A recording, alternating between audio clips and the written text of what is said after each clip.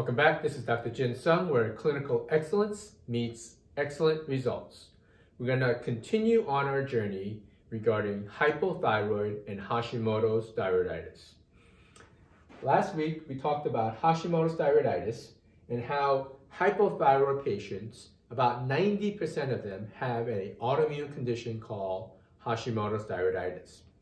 What impacts Hashimoto's thyroiditis for patients is things like gluten intolerance can impact Hashimoto's thyroiditis.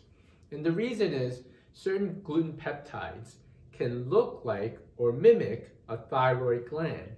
So some of the amino acid sequencing of a gluten protein may look very similar in nature as the thyroid gland. Therefore, if you eat gluten, it creates a problem with thyroid or hypothyroid. Okay?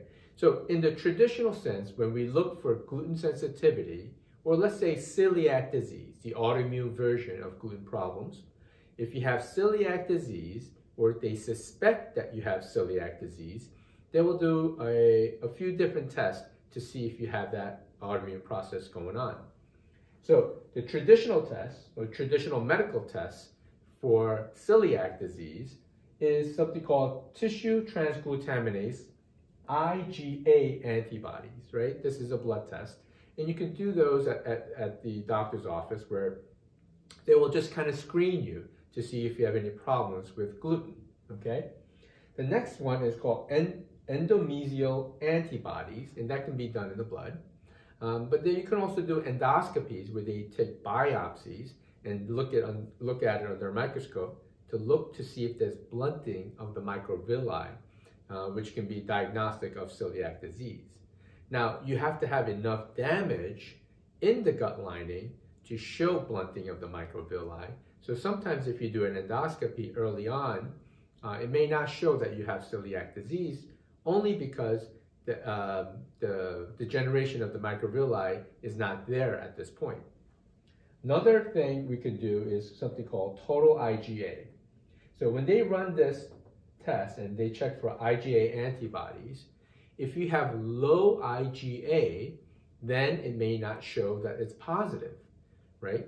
So the total IgA will tell you or will let you know that your immune system is probably not developing enough antibodies to this to even show a positive. So you can do a total IgA. If the IgA is low, you can do something called deaminated gliadin peptides, right? And often they do this on children to see if they have problems with it. Another one uh, you can do with children and adults is a genetic test, which they look for markers called HLA-DQ2 and 8. This is good for people who are already on a gluten-free diet and they want to know if they have a genetic predisposition to possibly develop celiac disease. So it doesn't mean that you have celiac disease, it just means that your prevalence is going to be higher when you have these genetic components than the general population, right? So it's looking at genetic predisposition, not that you actually have celiac disease. The problem is when you have these tests and they are negative, it does not show that you have a gluten problem right? Then what is your next avenue, right? Because people will say, you know, Dr. Sung, I went to uh, a specialist, I had endoscopy, I had this test, blood test, and it was negative. Yet, when I have gluten or gluten-containing proteins, I get brain fog, I might get joint pain, GI upset, right? Some cognitive di difficulties, even in the in the balance centers, right? What is going on when they tell you you don't have any problems with gluten, yet when you eat gluten, you have symptoms, right? It can be explained in that the testing is not complete, right? In order to look at gluten, you have to look at multitude of different peptides or different components of gluten to de determine if you have gluten sensitivity.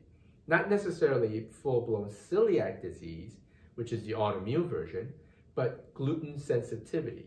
It's important to make that distinction.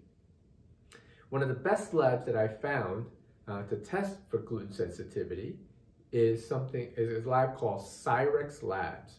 and they will check different peptides and different proteins within gluten, right? And it will look for different markers, both IgA uh, and IgG, because uh, it looks at different immune responses. So,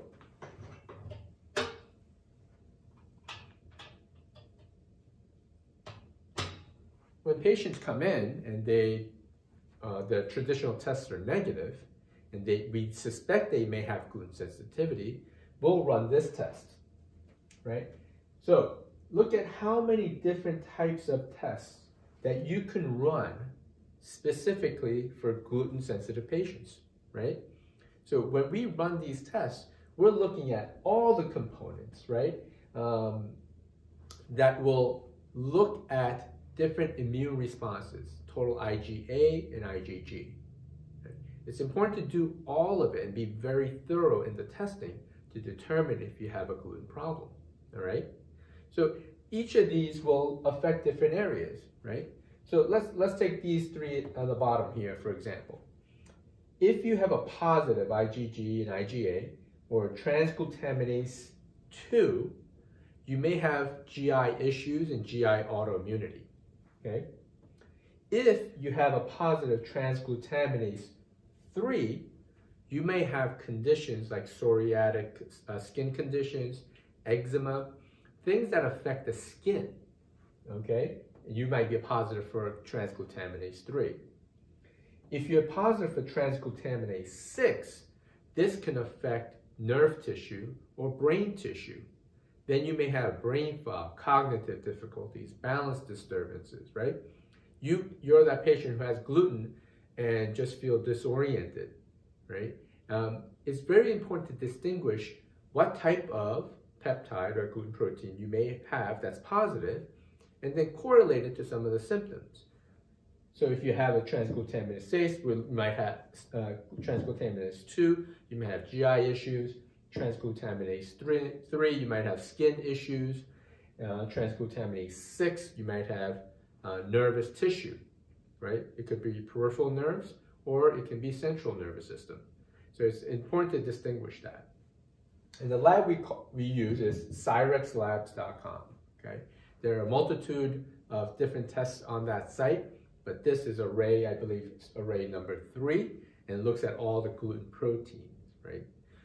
If you put, if you message me uh, with your email, your name and email, I will send you the guide on how to read a test like this, right? It was developed by Cyrex Labs. Um, the leading PhD or leading immunologist who's going to look at this is uh, Dr. Vojdani. Um, he has written a multitude of papers on immunology, and he's the one who developed these types of tests. And it's the leading, most sensitive type of test that you can do if you suspect you have gluten problems, all right? So put your, uh, send me a instant message and put your email and your name, and I will go ahead and send you a, a guide on how to read a test like Cyrex Array 3. Okay, so it's important for you guys to be educated.